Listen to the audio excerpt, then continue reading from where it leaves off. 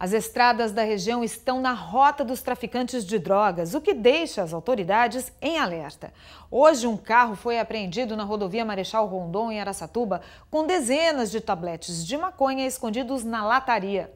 O carro com placas da cidade paulista de Maracatuba foi abordado no trecho urbano de Aracatuba, na rodovia Marechal Rondon.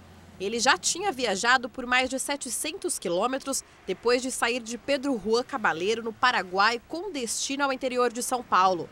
A parte de dentro do carro foi toda desmontada e os policiais encontraram 31 tabletes de maconha prensada na lataria do veículo. O entorpecente estava escondido nas portas e também perto dos bancos.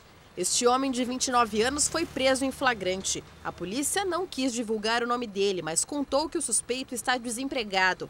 Ele foi levado hoje à tarde para a cadeia de Penápolis.